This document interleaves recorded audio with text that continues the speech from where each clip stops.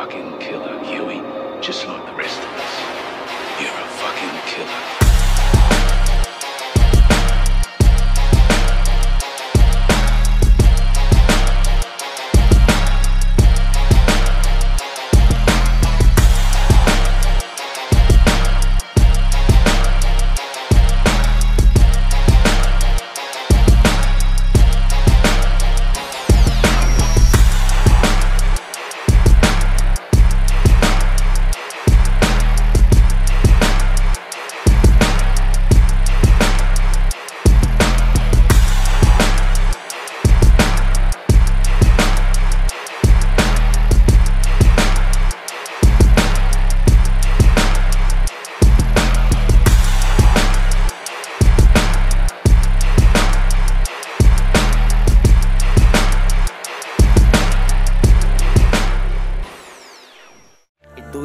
Sa iyong bisig. Sa mundo ay ako muna na tumitig. Masyado na ding magulo na sa paligid. Kung panaginip to ayoko nang gumising Mabuti may tahanan.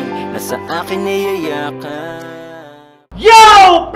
Rock Battle League! Nandito tayo ngayon sa El Patron, Tagiting 4, One Up Tournament 5! Bloodway magingay para sa parting na laban! Yo, maraming maraming salamat pala sa Broadway Hustlers ni Merce Merce. Check nyo sa Facebook, sa standby shirt ni Real John, pati sa Bloodway Source ni Gerald G. Yeah. Sa media namin, Angelo Manloto Film. Check nyo sa Facebook. Daleo, check nyo sa Facebook para sa videos photo namin. Maraming maraming salamat. Schengen Show, may ni MJC. Christina Maris Kaaway. Sa El Patron Resto Bar. Check nyo sila sa may alam, Floodway lang ang pawis. Yeah, alam na alam nyo na yan. El Patron Resto Bar. Laban na parating sa kanan! Galing pang Pililla Rizal para sa inyo! Magingay para kay Tolitz!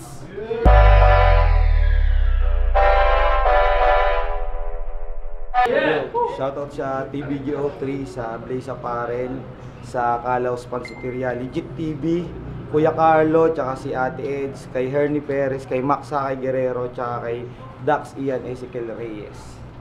Yo, sa anak ko naman, galing Cavite City pa para sa inyo, magingay para kay Ronan!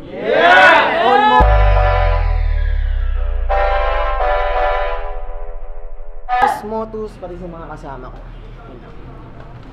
Yon! Nanalo ng toss ko si Nanalo ng toss ko si Tolitz, pinili niya mauna si Ronan, unang bar para kay Ronan, one of tournament, let's go! Game, game! Yeah!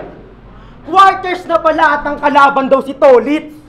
Diyos mio! Nagmalaki, Tolit! Hindi ka tulit! Ikaw si Lito!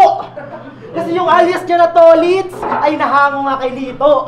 Kaya laruin ng Tolits, yan yung nakita kong estilo. Oo, yung alias mo na Tolits, pinang front pa nitong hunghang. Bakit binago mo yung Lito? Lito, baka confused ka lang. Bakit ka ba nag-battle rap? Ha? Kanyang rason, kakainis. Nag-battle rap siya kasi nai-inspire siya sa kababata niyang si Cerces. kasi real talk, nung nag-call out ng mga old god, si old dad na uga. Nagbaka, nagbaka sakaling isa siya sa mga Diyos, kasi ito'y katana sa mukha, ho'y tanda. Ikaw imposibleng maging Diyos o maging Diyos kung naisipan mong sundan. Imposibleng maging old God, itong si old dad, tanda, dapat ko yung tandaan. At ang eksaktong punto, babagalan pa ng bahagya na may matandang magtatanda sa mas batang mambabata. Kasi pakyo ka, Lennox! Pagkapikon mo, tanaw ko. Matapos kitang ipayan ng Elims, nagsumbong ka kagad sa tatay mo. Kung plano mong ipagtanggol yung Lennox, this is not what you think. Kakaprotekta dun sa Lenny, nagmukha ng kakamping. Pero sige, protektahan mo yan. Habang ito yung opensa na atake. Pagkaupo, labas yung talig, ang posisyon di komportable. Aking bolo ay hinasa pagkahiwak ay nakitang ginarote. Kasi round 1 pa lang, o Elims pa lang, alam nang tayo yung magtatapat. At sa'yo na rin mismo nang galing na lamang ako sa pagsusulat. Oo, na-overview na ng Tolonges. At parang interview, ikaw na rin nagsabi ng yung weakness. Kaya ito lang pangarapin dito tatang na ikaw ay tatanghalin. Kaliwat ka nandiyan kay tatang kay pumili tatang alin. Kung kaliwaan, you're right, tutuluyang tatanggalin. Hindi na para magmayabang sa'yo ito, alam mo, alam mo achievements ko. Pagkat ang katumbas ng pagyayabang sa'yo, ay wala yan sa lolo ko. Oo, wala yan sa lolo ko. Walang prediction sa round 1 ng mga posible mong mabigkas. Ipakita mo sobrang hina mo sumulat at sa pagsigaw ka lang malakas. So sumigaw ka na. Unang bar para kay Tolitz, let's go! Ano sabi niya? Tatanggaling, tatangkain. Ang galing mo, sir! Salamat sa linya ni Placer! Tangina mo! Ginamit pa yung tolits nito. Marami nang gumamit niyang gago. Lahat yun, tinalo ko. Ikaw na ba si Mark Ronan? Yung anak sa labas ni Mark Logan. Alam nyo ba na sa battle, feeling siga yan? Sabi niya kay Renzo, sa battle rap, pag may humarang kokotongan. Ha? Nakakatakot ka naman! Yung humarang, kinutongan, pero di niya tinuluyan. Siga ka na niyan? Ako sa battle rap, lahat ng humarang, pinugutan. Cause sa gang life, I'm a hero. Sa music, I'm chilling like a villain. Sa lineup na one up, I gotta beat them. Chicken lang to sa akin cause your pussy nakapela, Ronan Keating. Ano, tatalunin mo ako? Kagaguhan! Paano mo ako tatalunin? Inungkat ko na buhay mo. Tanga, marami na ako nalaman. Kasi tolits nga, di ba? Maraming info pwedeng pagkunan. At ang latest kong ang nasagap mga kaibigan, dating photographer si Ronan, yung buntis niyang pinicturan na kunan. At balita ko pa Ronan, hindi ka daw nakakatulog sa gabi pag di mo katabi yung amoy panislaway mo na unan. Tapos balak niya pang ibenta kay Toyo kasi hugis mapa ng Pilipinas yung pinagtuluan. Aba grabe na po yan! Ayos din to magnegosyo, literal na laway ang puhunan. Pero real talk, may negosyo talaga yan. Pinopromote niya pa sa battle. Pangalan ng negosyo niya, Balaw Bowl Mill. Balaw Bowl! Puta, pangalan pa lang, kadiri na. Pati pangalan ng negosyo, Altampano, pagkaka-wordplay niya. Balaw Bowl! Ano yan? Recipe na gawa sa tayo ng Carabao. Yung libre nilang sabaw galing sa ihi ng Chamaraw. Nalugi sa pagdinegosyo. Ngayon battle rap pinagtutuunan. Kung yung negosyo nyo hindi pinupuntahan sa akin ka matatauhan. At dancer yan. dancer ka! Dancer ka! O sige na magkaalaman, dancer pala yun. Dancer ka! Dancer ka! Oh, mo? Dancer ka! Ayaw mo yung ganong klaseng galawan! Ah, ano? Ano? Hindi lang ako nakikipagsabayan ng bara sa bara. Kahit sa dance floor dito sa akin, ubra. Tapos ipagyayabang niya pala sa hip-hop, meron daw sa dalawang klaseng elemento. Paano ka magiging hip-hop sa ayawan yung techno? Ako mapa-b-boy, mapa-graffiti, mapa-MC, mapa-DJ, mapa-beatbox. Limang elemento nasa palad ko. Ngayon mo ko yabangan ng elements kung lahat ng yan inaaral mo. Avatar. Ito'y labanan sa pagitan ng parehong mananayaw. Kaso akin ang entablado ngayong gabi, di mo yan maagaw. Masyado na ba akong pabida? Pareho lang natin gusto makapasok sa flip top, sino bang ayaw? Kaso pag ito nagpasikat, suntok sa buwan. Pag ako nagpasikat, balang araw. Mali ka ng kinalaban, Ronan. Parang hinamon mo ng barilan si Dito Lapid gamit electric toy gun. Nakipagkarirahan ka sa athletic long run. Hindi ka pa effective, Ronan. Isa kang defective human na nakipagpatalinuhan kay Detective Conan. Pansin nyo ba? Masyado itong pinipilit yung rhymes. Hindi naman effective yung punch. Sinisingit yung lines para lang bitbitin ng crowd. Sarap mong pitpitin sa ground. Ikutin sa li, pilipitin ng wild. Ikutin sa leg at batakin. Ganun ko siksikin yung round. Time. Anong balat, Ronan? Let's go! Nagbanggit pa tungkol sa sayaw. Tingin mabangis na to sa battle rap. Pwes kung usapang sayaw, Jabberwockies, tapos neto wala ka na mukhang iharap. Game! Pag-usapan naman natin pag-abante niya ng eh, ah, pag-abante niya ng Elims, ngayong round to maaanggel. Kasi pinatikim sa'yo yung hemp at nahirapan kang mahandle. Kasi nag-joke na yung J-Hemp at tabunan ka ng tawa ang naging package dyan kay tatay. O tawa sa hemp, sako-sako at nagmukha ka na bistay. Oo, nagmukha ka na bistay.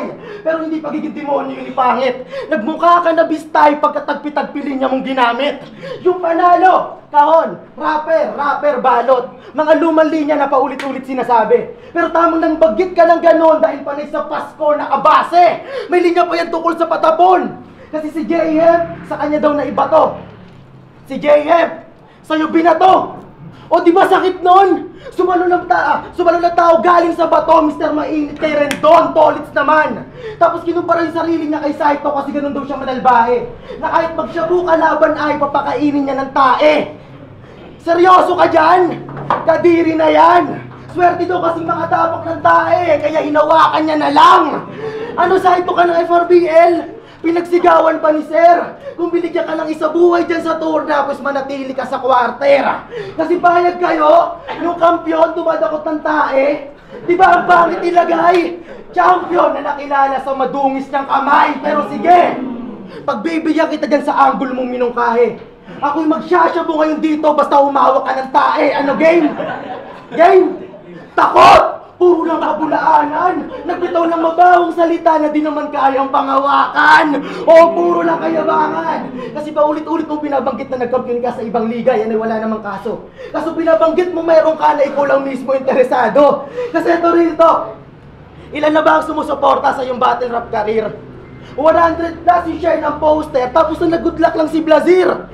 At ang rason, kasi kumpare ni Ungas, kaya agad-agad lumapit. Blast sa pag-angat niya ng naisip na naraket. Oo, lakas ng kapit. Kasi dahil sa Blazir, kaya nga tuluyan kang nahubog. Kung nasali ka sa blast, pues, Ibadala ko na pasabog! Buong katawan mo matutupok at biglaang maagnas! Kung dahil sa apoy ka nakapasok, ngayon apoy ko dahilan ng iyong paglabas! Oo, sa apoy, ikay naatim ng mahumaling at biglang nagkataon. Double meaning na pag sinabing iba yung init niya ngayon! Oo, panay wato lang ginamit! At ako pa ay nagpigil. Pag nag 3-4, yan ay pang good luck dyan kay Sutel. Kasi pag sinundan pa ng 5-6, meron ng maniningil. Sige, dagdagan ng bilang. Nang sa 7 tumagos. Walong putok dyan sa kokote, lahat ng bala tatagos. At sa pagdating ng 19 ay tuluyang magtapos. Tapos, 2 minutes lang. Anong banat para ito ulit? Let's go! Anong Blazir? Blazir! Bisaya ka dudong ugok! Blazir ka ng Blazir! Sa apoy ka matutupok! Blazir, Bisaya ang puta. Nung ginagawa ko yung round 2, wala na akong maisip, hindi ko alam kung bakit. Naumay na yata akong mangutyat manlait. Nung nakita kita, parang ayokong manakit. Kasi yung itsura mo, mukha kang mabait. O mukha kang mabait! Pinuri lang kita tanga para di ka mangain ng damit! Kasi tanggi ng itsura yan, Ronan. Hindi ko mawariyan. Parang pinagsamang mukha ni Doding Daga at saka ni Morgan. Pero alam niyo ba na si Gray Matter at si Ronan? Matalik na magkaibigan. Para silang si Bito at si B1 kasi yung mga saging nila madalas nang uuntugan. Oo, may saging yan! Hindi yan tibo! Kamukha niya lang talaga yung nag-chorus ng biglang liko. Sa totoo lang, binabagabag ako ng konsensya ko pag yung pagmumukha mo nakikita ko. Nung sinusulatan kita, parang ayaw nang gumana ng tinta ko kasi tangina mo, kamukha mo, tita ko. Ayoko na sana gamitin yung angle na tibo dito sa puki na shit. Kasi di ka naman tibo, alam kong pussy ka bitch. Dami na nag-angle sa'yo nun, puta lait na lait. Last pag natingil nung tibo, paano gamit na gamit? Kaya lagi kayong nakamiyo kasi pakat yung puki nyo sa Aerox.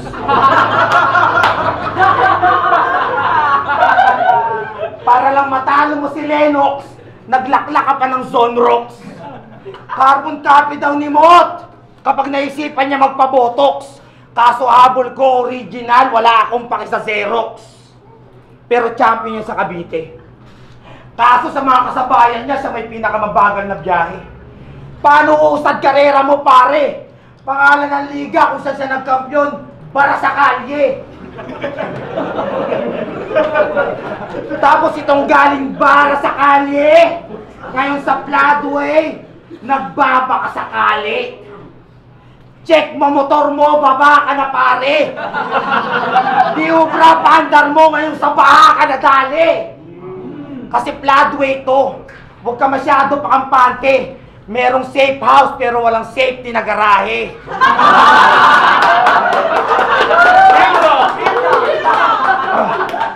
Tinuro ko na motor mo sa mga tropang walang yak. Yung motor mo kahit nakalak, magic mawawala.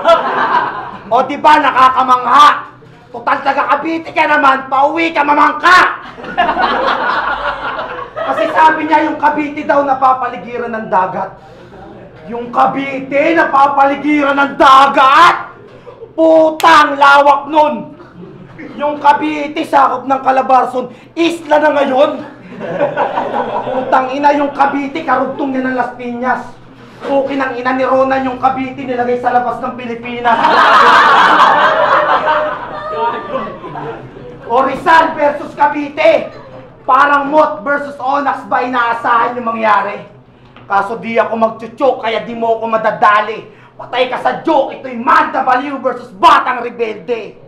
Ngayon ako'y malahin na raluna sa pagkalabit ko ng gatilyo. Tabak sa ulo gamit itak ni Bonifacio. Anong pakiramdam na taga Cavite naman yung pinapatay ng mga pinapatay mo? Paalala ng Rizal kay Emilio Aguinaldo. Balita ko maaga ka daw nagdiwang. Parang pulis na kumota sa lagay. Payapang nagtatampisaw sa flood at masyadong palagay. Pwes ako'y rumaragas ang alon mula kabundukan ng pililya. Hindi taga-tangay. Kaso sa mga tulad mo, tanga-tanga sa flood. Ako ang taga-tangay. Time. Uling bakit para kay Ronan, let's go! Ginamit ko yung bara sa kalye. Yung liga nyo nga, underground rap battle league. Yung katangahan mo sagad. Tandaan mo, ang underground, imposible mangibabaw yan sa flood. Tapos dinamit pa si Grey Matter. Napili mo pang upak. Nagbanggit na ng Grey Matter, masabi lang na may utak. Game!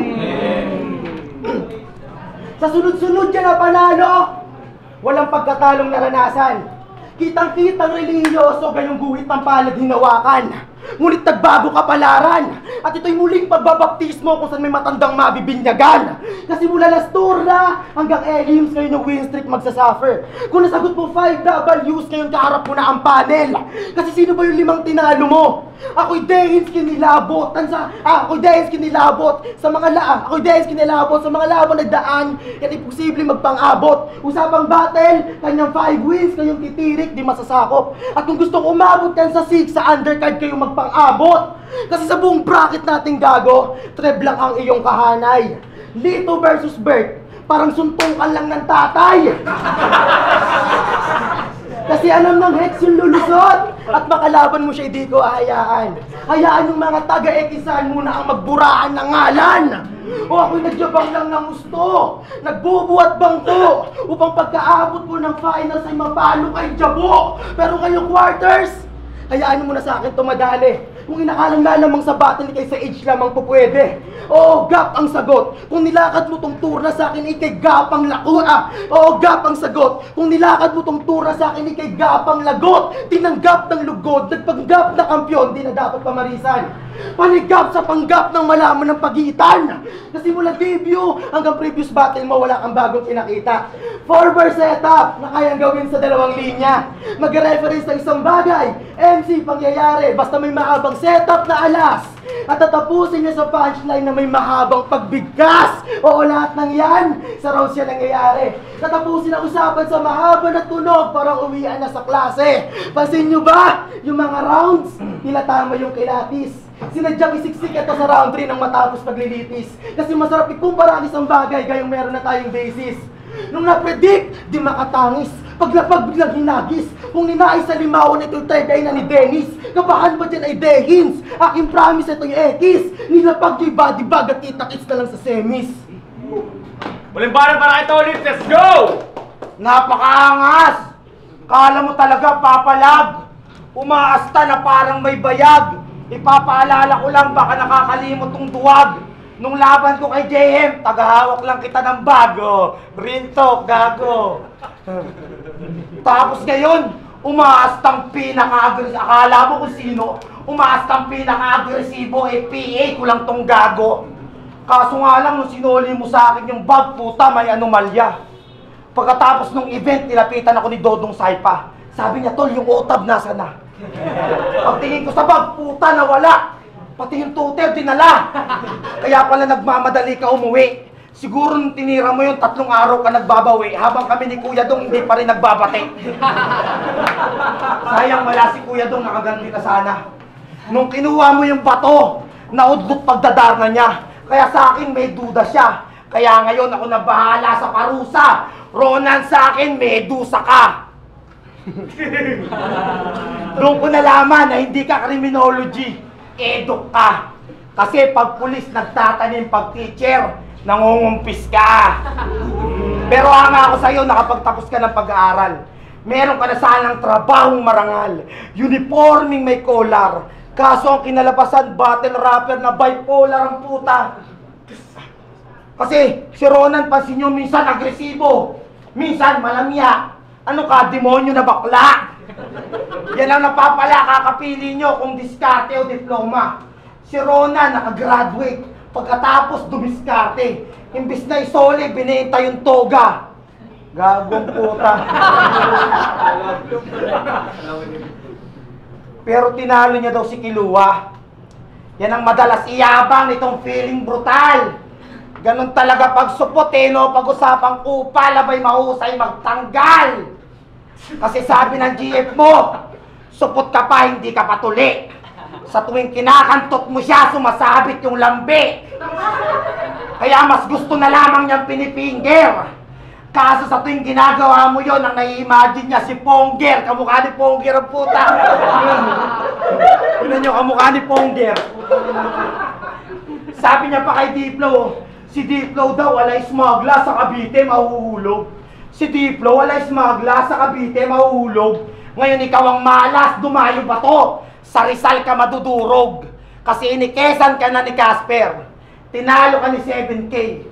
Sa Motus, tinapak-tapakan ka ng Tacoma. Minsan na lang mapunta dito si Insight, nag-iwan pa ng basura. Itong basura ng Motus. Sa flood nyo pa napiling isiksik. Pwes sa kalat nyong iniwan ako na bahala magligpit. Ako na tagawalis ng mga kalat sa syudad. Huwag mo nang pangarapin maging kampyon. Ako na tagatupad. Best friend mo daw si GM. Best friend mo daw si GM. Si Gray Matter. May best friend din akong GM sa Pililya, sa Multi. Grandmaster. Kaya kahit 2 on 2, siguradong hihingalin sa amin itong magtropang hikain.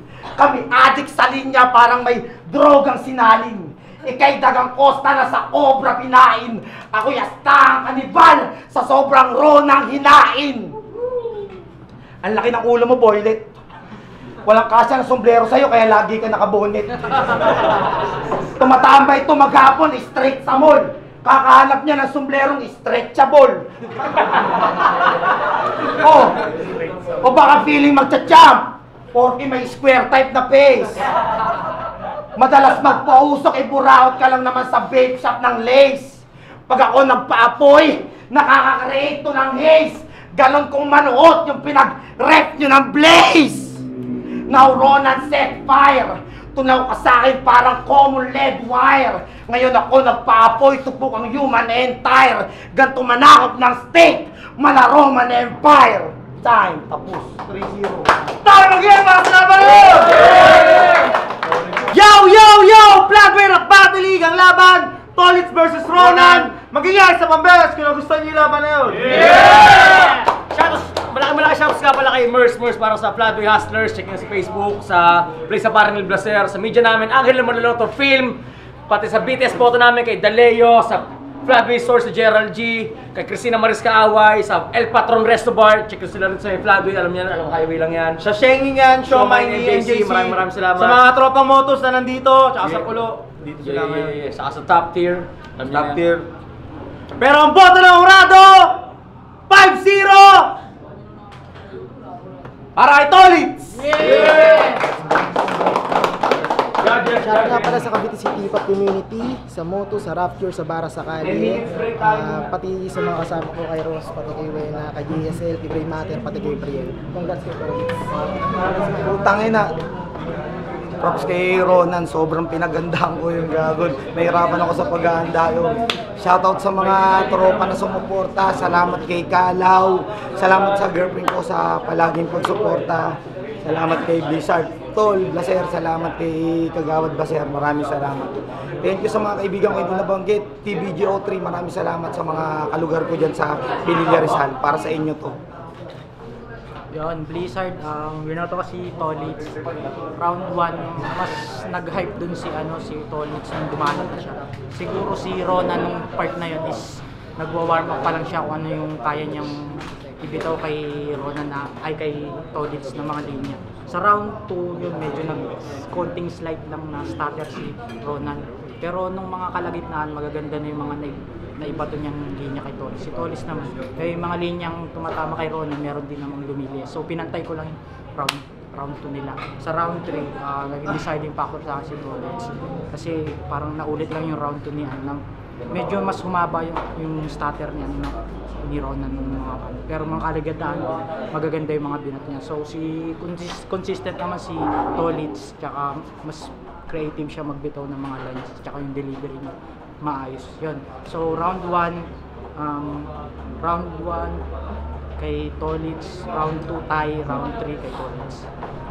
Yung Jocelyn style clash, di ko na siya ginudge ng by round. Parang buo na kasi sobrang dikit yung tatlo. Pero parang sa akin mas consistent si Tolitz, ah, mas solid, ah, mas effective. Okay yung kay Ronan, sobrang quality ng mga sulat. Pero ayun nga, mas nag-enjoy ako kay Tolitz, tas marami rin siyang punto. Ayun, Tolitz, madali lang. Yo guys, Aubrey, binoto ko si Tolitz kasi pero ang round 2 ko kay Ronan kasi okay yung mga bars na binitawan. Kaso nabasag din naman siya ni Tolitz na round 2 sa Yoker na. So 1 Tolitz, 2 Ronan, 3 Tolitz.